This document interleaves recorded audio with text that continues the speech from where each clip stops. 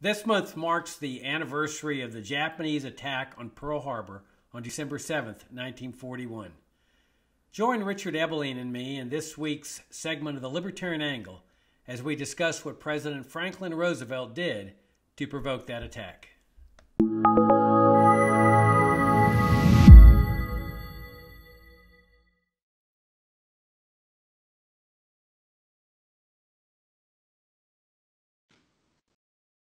Hi, I'm Jacob Hornberger, president of the Future of Freedom Foundation, and this is this week's segment of the Libertarian Angle, the show that brings you the principled and compromising case for libertarianism, especially in the context of what's going on in the world, the burning issues of the day.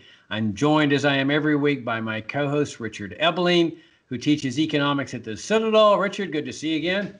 Good to be with you and our viewers and listeners. Yeah, thanks for tuning in. If you're new to FFF, uh, come and visit us at FFF.org. Subscribe to our FFF daily journal of uncompromising essays, both originals as, as well as ones we find on the internet. Our monthly journal, Future of Freedom, and subscribe to this YouTube channel.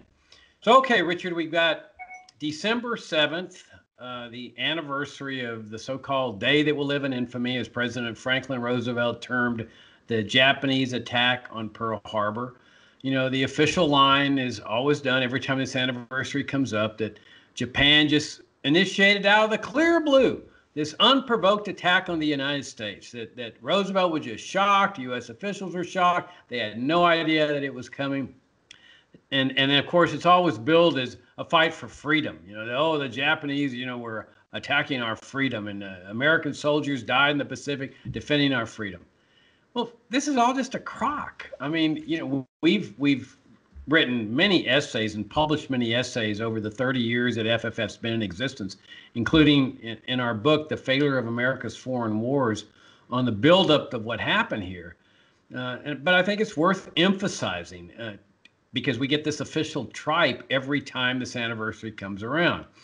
The fact is that the American people were overwhelmingly opposed to entry into another world war in Europe. They had seen what had happened in World War One. President Wilson had gone into that war with the war aims of making the world safe for democracy, which of course isn't freedom at all, and also the war to end all wars. I mean, what a crock.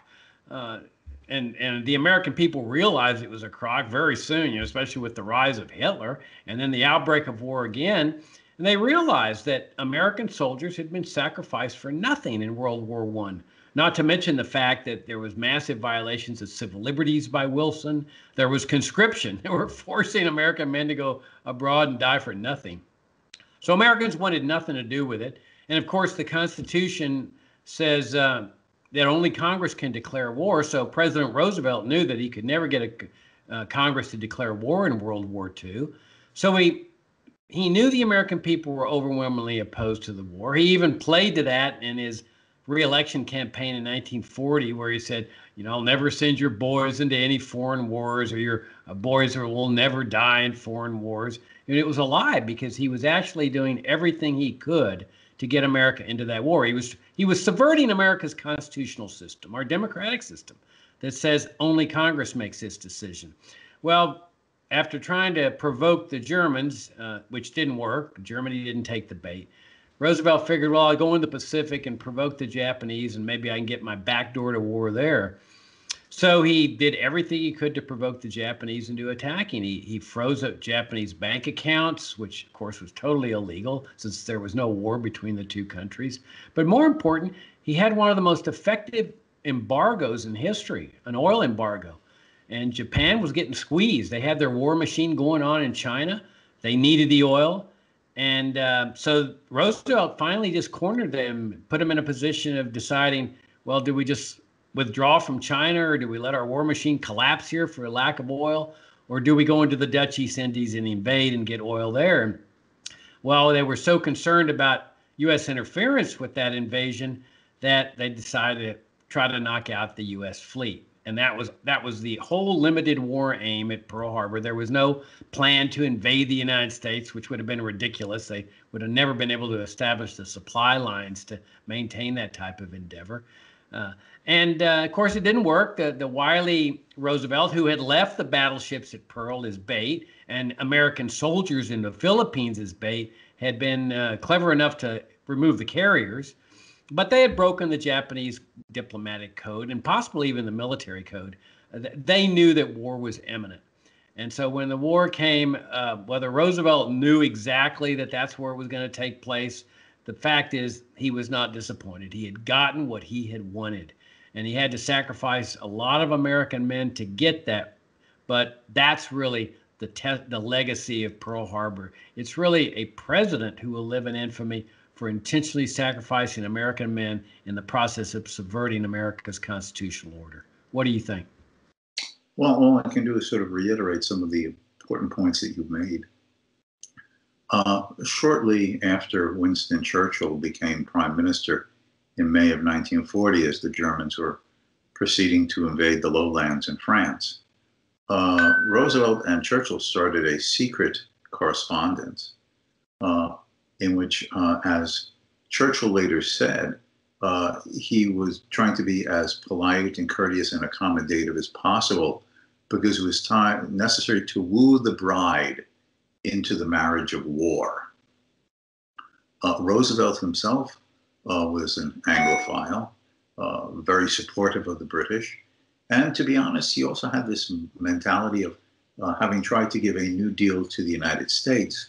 Uh, what more great adventure could await him, having now been elected to an unprecedented third term in 1940? Uh, to giving the world a New Deal. As you were saying, he attempted to bait the Germans. Uh, the U.S. was neutral in the Atlantic. Uh, the British were buying American supplies and war-related material uh, from the United States and bringing them across the Atlantic back to Britain in violation of, of the Neutrality Acts that Congress had passed and Roosevelt had signed. he was sending U.S. military uh, vessels uh, halfway across the Atlantic and uh, tracking German U-boats, their submarines, and then informing the British where these U-boats were. So either with sea vessels or when they had arranged for, for aerial uh, reconnaissance, for them to locate these U-boats and be able to try to sink them. Uh, the, the, U.S. Greer cornered one of these German U-boats and basically, the U boat finally turned around when it was being dogged, and it was clear that it was being set up for the British, turned around and shot a torpedo uh, that missed the US vessel. But immediately, Roosevelt the next day went before the press and said, You see, the Germans have initiated war against the United States. But since uh, the, the, the, torpedo had missed the USS Greer and no loss of American lives, uh, he, that didn't rise to the necessary occasion to believe that he could get a declaration of war from, from the British. So as you were saying, he also turned to the Pacific. Uh, the fact is, is that as you were saying, his family had had long economic relationships in China, trading relationships in the 19th century. So he was he was a great uh, supporter and believer in in China and, and, and a critic of the Japanese. And uh, and he saw the Japanese as these aggressors, which obviously they were. They invaded China. Uh, they occupied huge swaths of the Chinese mainland. They were brutally cruel anyone who knows a little bit of the history, and particularly the rape of Nanking, Nanking along the Yangtze River, uh, about a two, three hour drive up the Yangtze from Shanghai, uh, uh, was the Chinese capital. When the Japanese arrived there, they raped, they pillaged. It's estimated that, that in taking the city, they, they killed maybe a quarter of a million people. Women from the age of like eight to over 80 were raped and then murdered. Men were tied to poles and used as live bayonet practice. I mean, they're, they're, the, the Japanese were brutally cruel and insensitive to any life. But the fact is, it was not America's war. America uh, had not been threatened by the Japanese. Uh, the Japanese had been attempting to do everything possible to keep the United States uh, out of the war, even though they knew that uh, the famous flying tigers, the American US uh, pilots who went and, quote, volunteered uh, to serve in the Chinese Air Force against the Japanese, were in fact being supported and subsidized by Roosevelt's government. That came out years later. Uh, but the Japanese knew that. Uh, so the finally, uh, then Roosevelt imposed these these embargoes on oil shipments, uh, on on other war, war related possible material, freezing their accounts, and the Japanese basically were put into a corner of either breaking out of this encirclement embargo financially and economically, or to surrender to U.S. demands. And the U.S. was demanding that they withdraw from all of China. And the implication is that there would be consequences if they continue not to. An embargo would be driving the Japanese to their economic knees.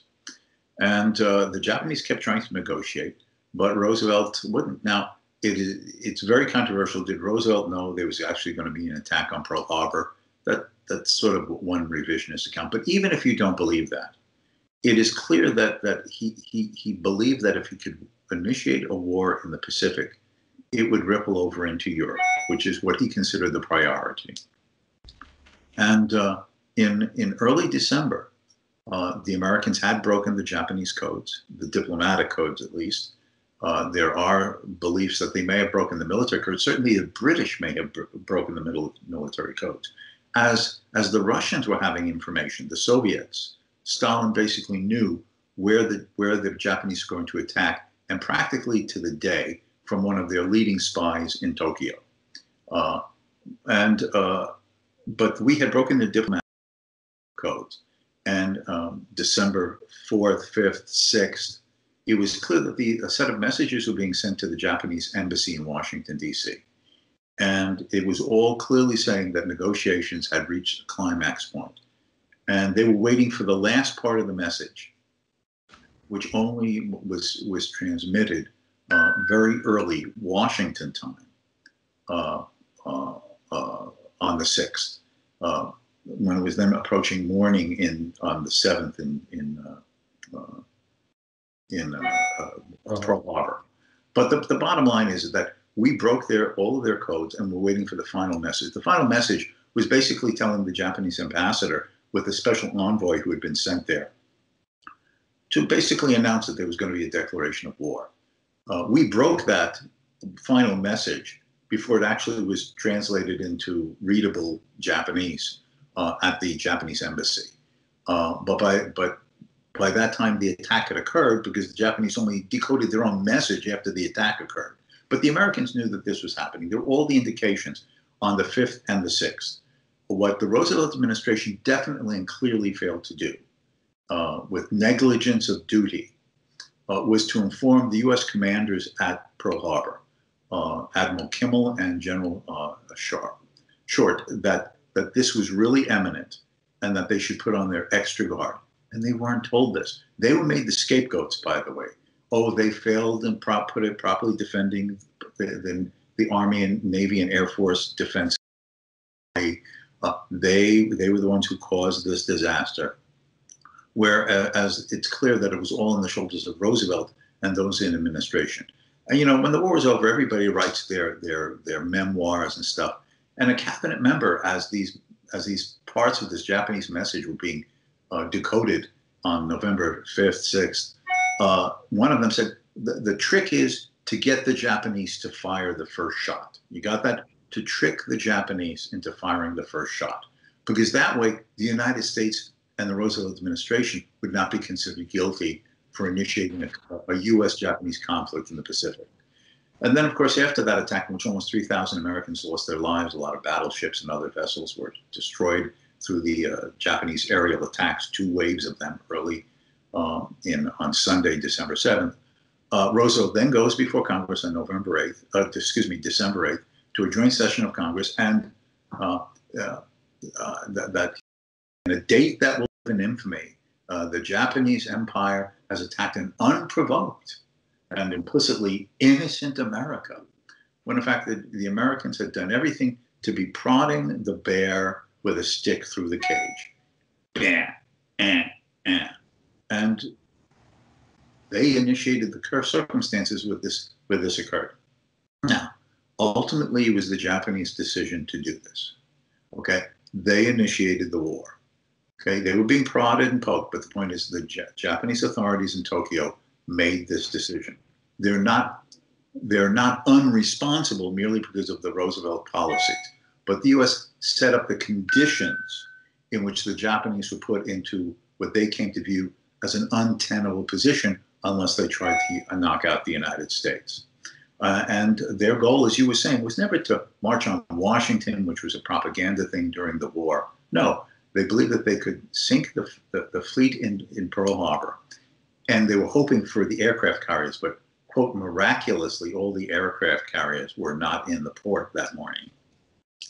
That if they could do that, they would so weaken over an extended period of time the U.S. military's capacity, particularly naval capacity, to initiate a counterattack that the Japanese could see, secure the territories they wanted in East Asia. The Dutch East Indies, what we now call Indonesia because of its oil, knocked the British out of Singapore and Malaya, and seized the Philippines because that was an American colony territory at that time, which would be a threat to, to the supply lines between Japan and the rest of Southeast Asia. And that, that to set up a, a strong defensive wall along the Japanese, uh, the Pacific Islands that the U.S. would have to have a compromise peace, compromise peace. Of course, they, they, they totally misread the Americans, uh, both the Roosevelt administration, to be honest, the patriotic war fervor that was roused among the American people, because the American people believed that we'd been attacked innocently. And, you know, therefore the Japanese need to be taught a lesson.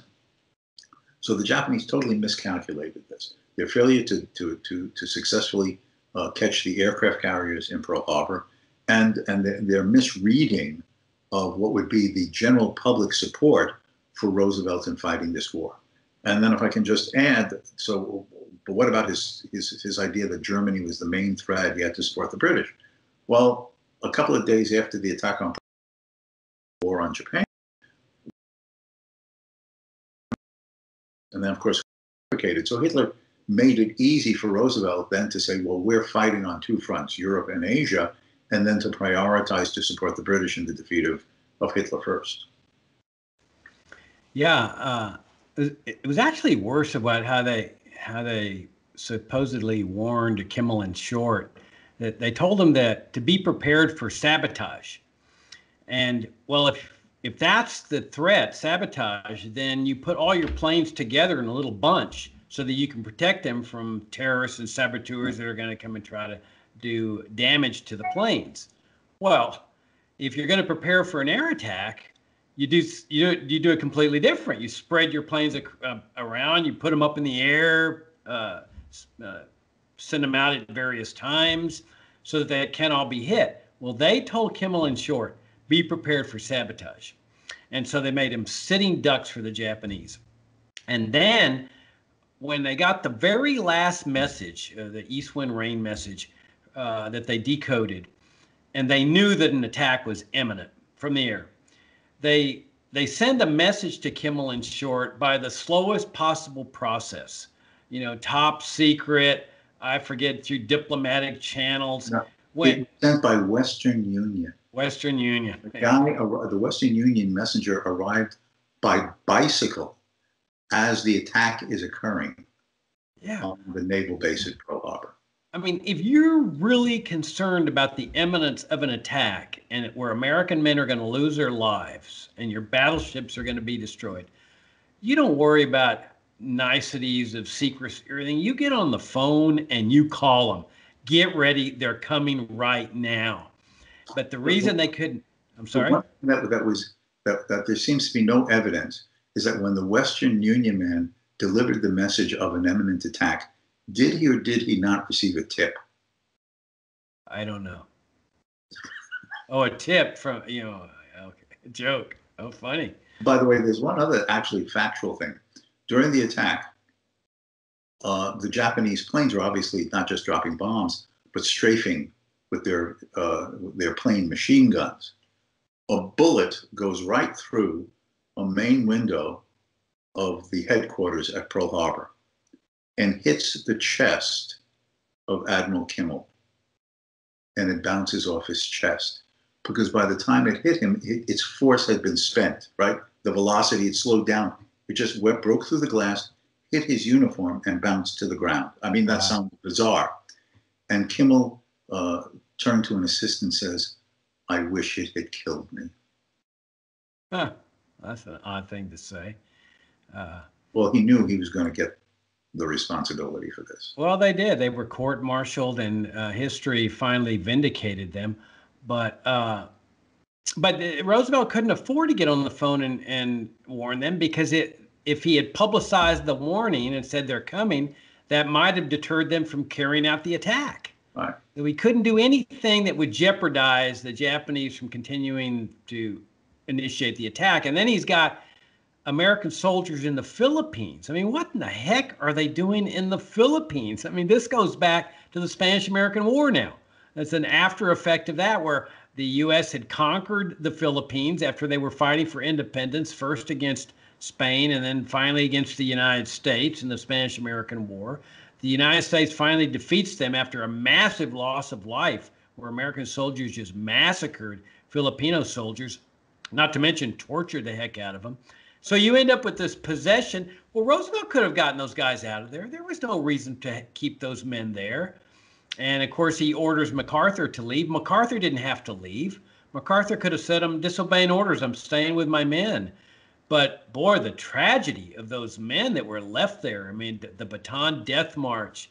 Uh, I think the guy's name was Wainwright, General Wainwright. Uh, I mean, emaciated when they finally caught up to him. I mean, th- this was this was Roosevelt's.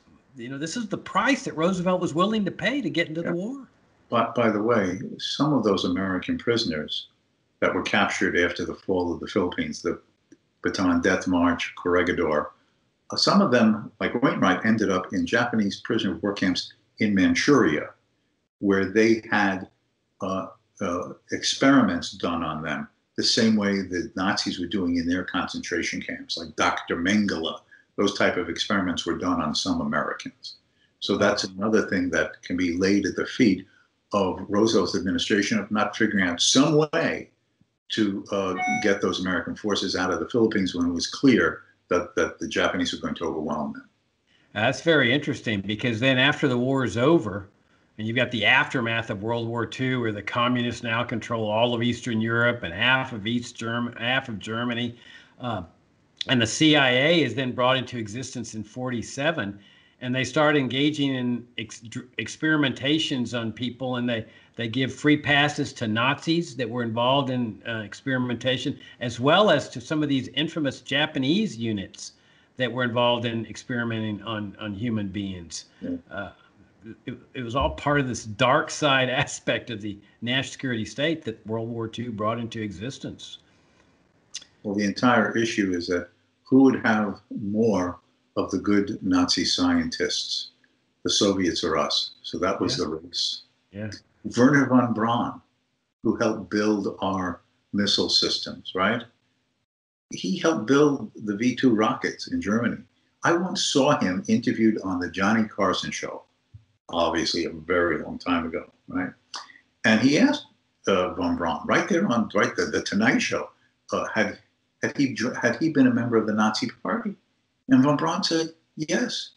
And Carson asked him something like, well, well, didn't you feel uncomfortable with that? No, that was just like being a Republican or a Democrat. oh, and I'm sure that's now, the case. Now, he didn't mean it in the cynical way that I think you and I would interpret that.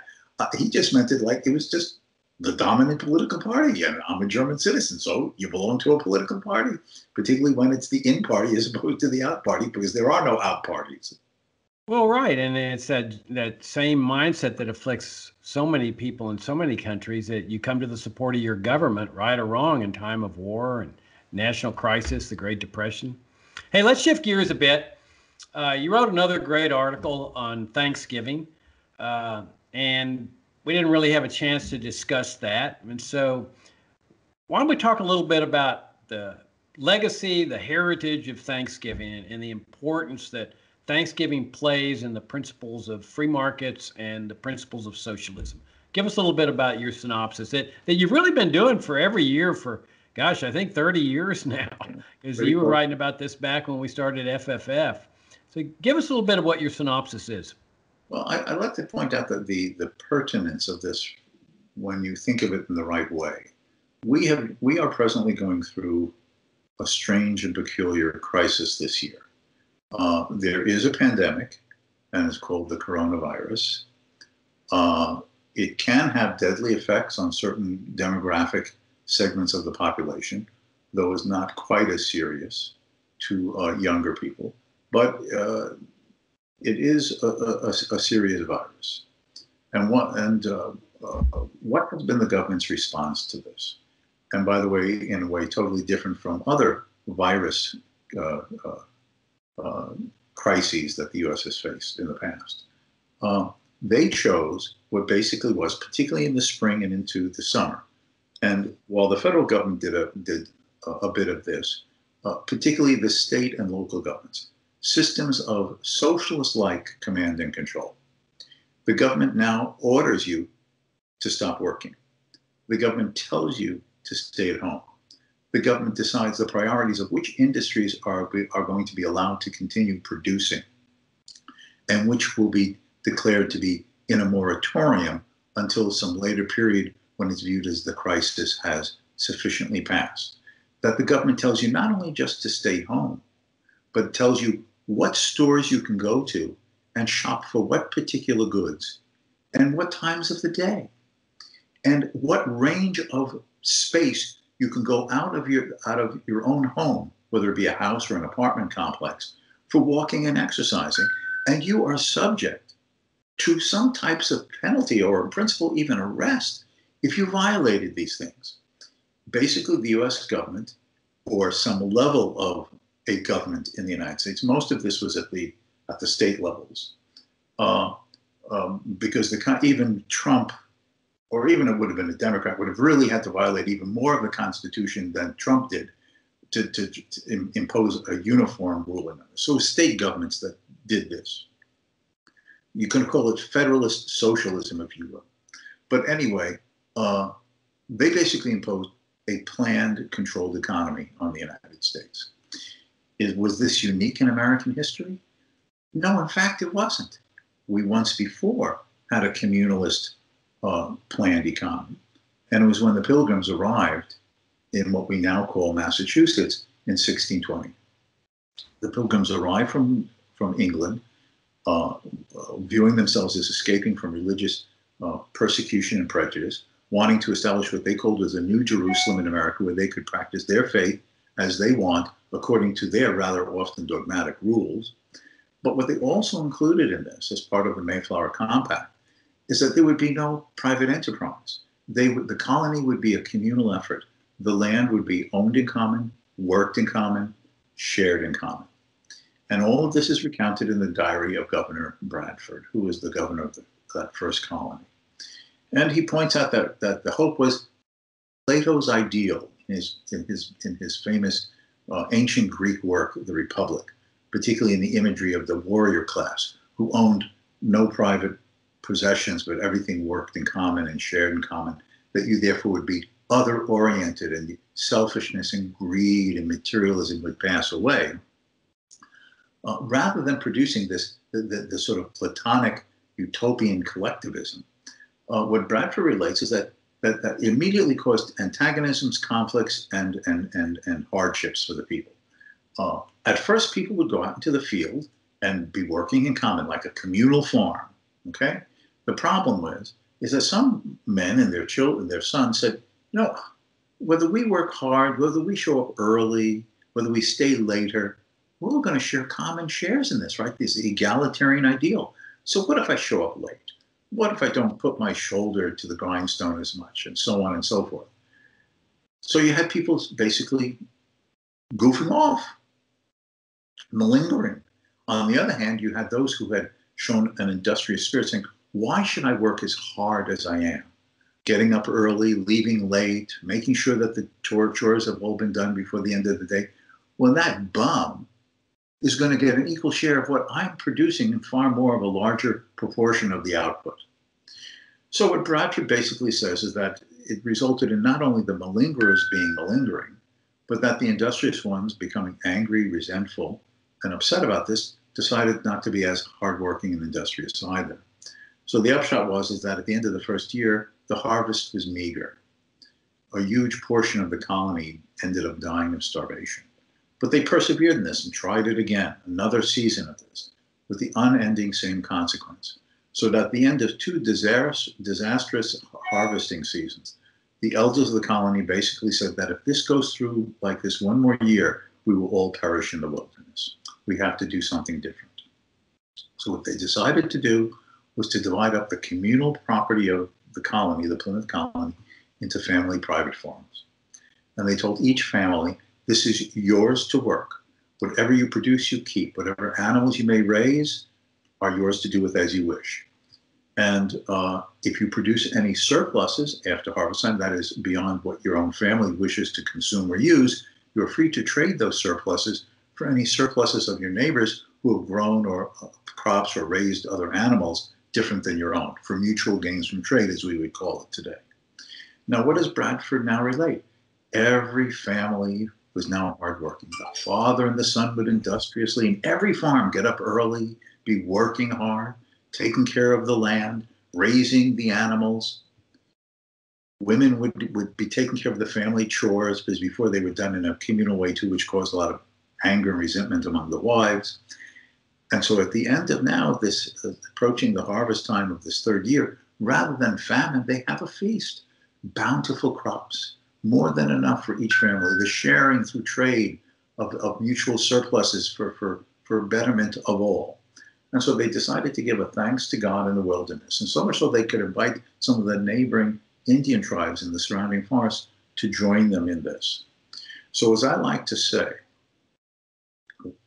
when you were around the Thanksgiving dinner table and uh, you were passing uh, around the turkey, the, the, the, cranberry sauce, the yams, the, the stuffing, and so on, raising a glass to the cheer of a family meal, you should all remember that what you are really celebrating in terms of the real history of the Plymouth colony and the first Thanksgiving is what you were really celebrating was the proof of the failure of socialism and the birth of free enterprise in America. That was the discovery that individuals will work hard and have incentives to be innovative and industrious when they are allowed to reap the honest rewards of their efforts. And that is what made America great by following that principle of private property, freedom of decision making and choice, and the right of trade for mutual benefit. That is how America began after the failure of that first communist experiment. And that is what could be ours if we don't fall into the trap of some variation on the socialist theme again. Well, I'd say we fell into that trap a long time ago with the welfare state. I mean, that's the whole concept. But instead of everybody puts their private property into collective hands. They they put their the fruits of their earnings into the collective hands through the national income tax and and redistribute it through the welfare state. But it's amazing to me, Richard, that so many socialists around the world and people on the left and, and also conservatives just do not understand this lesson. I mean, you still see it in places like in extreme cases like Cuba and Venezuela and Korea, North Korea where I mean they, they they nationalize everything. The government owns everything. Everybody works for the state, and everybody's starving to death. And they blame it on famines or the weather or whatever, when it's really their system. And and your point about that that America better be careful because they're mo- we're moving in that direction. Well, I say we've been moving in that direction for hundred years now with with the Roosevelt Franklin Roosevelt re- revolution uh, starting with Social Security and then moving through Johnson, Medicare, and Medicaid, and the gigantic me- uh, welfare state now, uh, along with all the foreign aid, and, and, it's bankrupting America. And then it's interesting that you begin with the pandemic, because then you've got all that stimulus money. I mean, national debt, the federal government's debt soaring.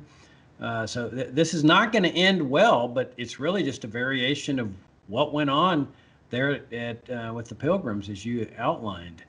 So really, what I think what we need in America is just a rebirth of freedom, where people rediscover this thing and saying, "Enough's enough." We want the restoration of America's founding principles of free enterprise and genuine limited government, as compared to the all these wars and the national security state that we that afflict our nation now. Yeah, what what has to be overcome is falling for this nonsense that is constantly coming from uh, the left.